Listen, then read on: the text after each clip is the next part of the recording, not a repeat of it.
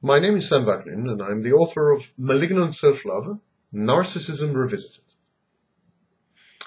Prone to magical thinking, the narcissist is deeply convinced of the transcendental meaning of his life. He fervently believes in his own uniqueness and mission.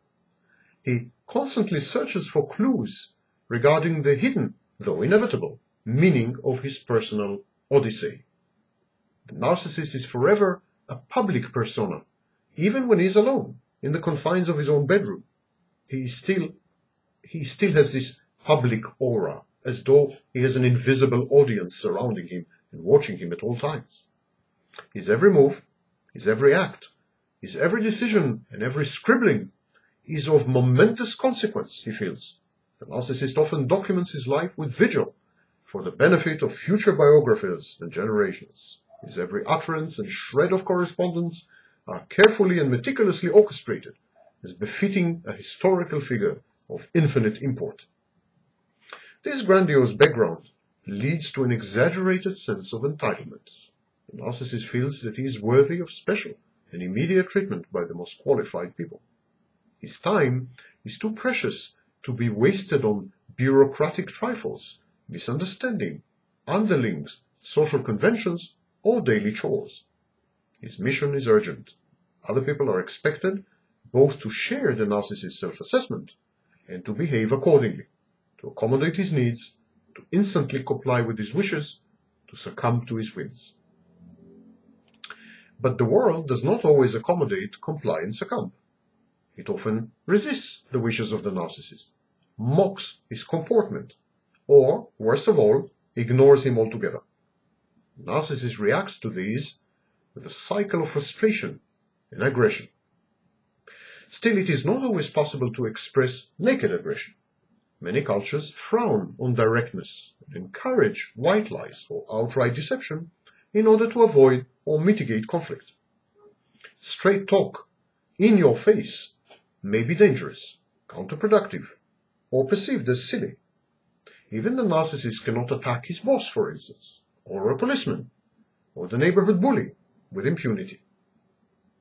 So the narcissist's aggression, pent up, boiling, seething, about to flood him altogether, wears many guises, assumes many, many forms. The narcissist suddenly becomes brutally honest, or bitingly humorous, or smotheringly helpful, or sexually experimental, or socially reclusive, or behaviorally different and eccentric. All these are forms of aggression. Some narcissists find yet other ways to express their scathing and repressed hostility. They're very creative. Narcissists often labels such thinly disguised aggression tough love. The narcissist's favorite sadistic cocktail is brutal honesty coupled with helpful advice and concern for the welfare of the person thus attacked. The narcissist blurts out, often completely unprovoked, hurtful, hurtful observations, painful sentences. These statements are invariably couched in a socially impeccable and acceptable context. This is akin to anger management. The sadistic narcissist also requires truth management to teach him how to contain his impulsive and offensive honesty and directness. So, a, narciss a narcissist might say, do you know that you have bad breath? You will be much more popular had you treated it. True. Fact. Sadistic. Or the narcissist can suddenly blurt out out of the blue, you are really too fat. You should take care of yourself. You're not young, you know. Who knows what this is doing to your heart? Obesity is ugly. Again, impeccable, acceptable, helpful, even friendly.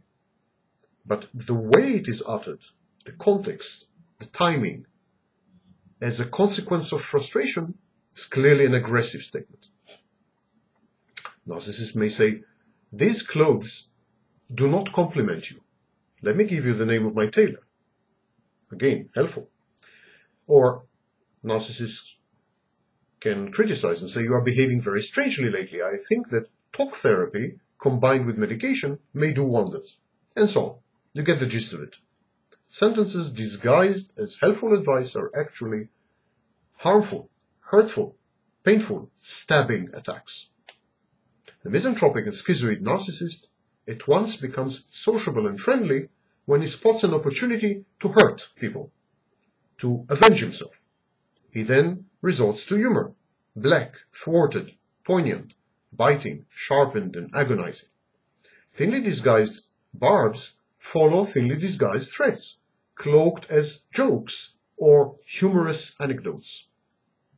Another favorite trick of the narcissist is to harp on the insecurities, fears, weaknesses, frailties, and deficiencies of the target of aggression.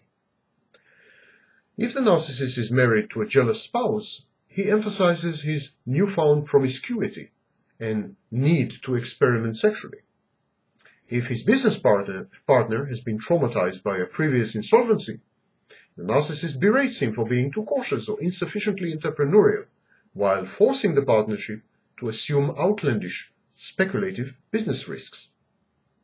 If the narcissist cohabits with a gregarious mate, he acts the recluse, the hermit, the social misfit, or the misunderstood visionary. In, in this way, he forces the partner to give up her social life. Anything to frustrate, to damage, to hurt, to corner, to inflict pain. The narcissist is seething with enmity, hostility, and venom.